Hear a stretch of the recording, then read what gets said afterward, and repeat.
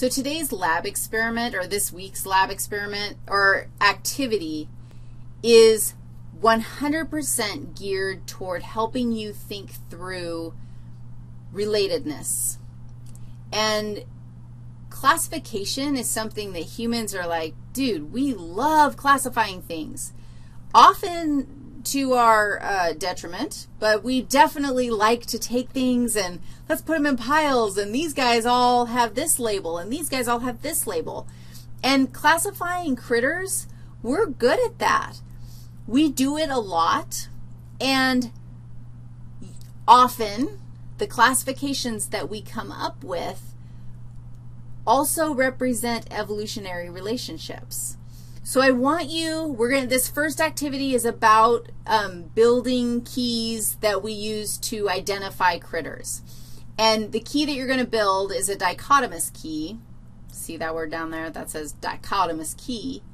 And a dichotomous key is the kind of key where you go through and you like look at, okay, you ask, you ask a question and you have two possible routes to an answer.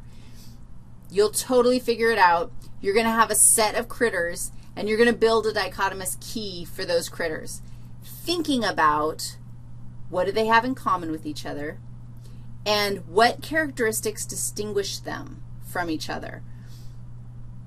After you build your key, you're also going to build a tree that shows how those critters that you built the key for are actually related to each other.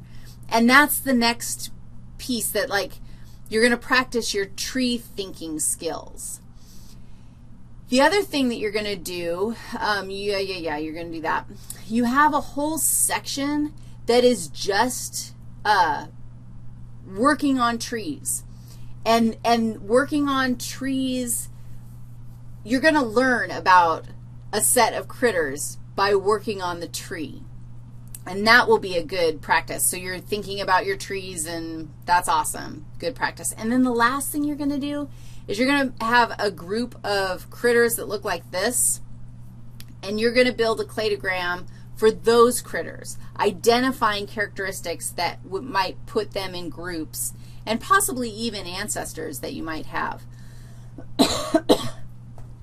I just wanted you to see that the lab activity is tightly related to the conversation that we had. It's um, you will get out of the lab activity what you put into it, but today's topic is truly foundational for the next five lectures, not just the ones on evolution, but also the ones on diversity and, and the different kinds of critters that we're going to be looking at. So please be disciplined in lab and make sure that you are uh, rocking the easy. I, Doggy Pounds. It's been awesome. Holla at ya later.